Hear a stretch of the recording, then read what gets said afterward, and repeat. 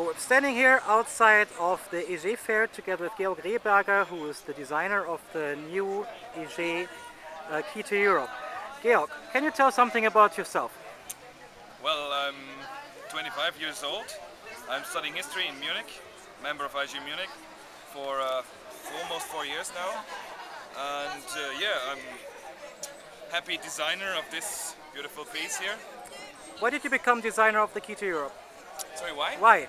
Why? Uh, because uh, because it's a big challenge for, for me, and because I wanted to contribute to AEGEE. And I think. Did you do design before? well.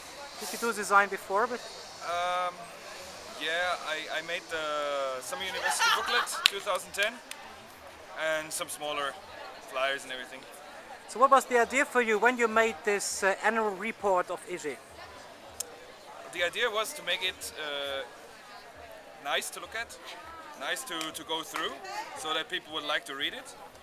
Um, and give people a nice overview over what happened in the last year, over what is AEGEE, over the projects, over basically everything what uh, is interesting about AEGEE.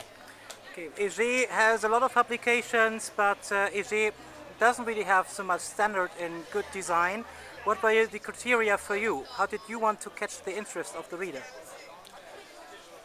Uh, I wanted to, on the one hand, make a make a good design, as you say, and keep certain standards, and don't uh, try too much.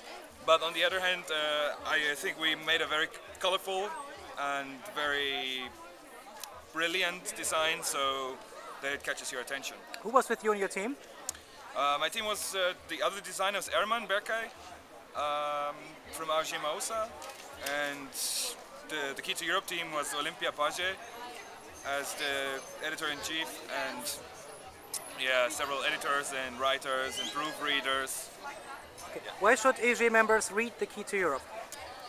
because it shows you what was going on in the last year in AEGEE, and it's about it has details about the projects that were going on, flagship topic projects, and a lot of background information.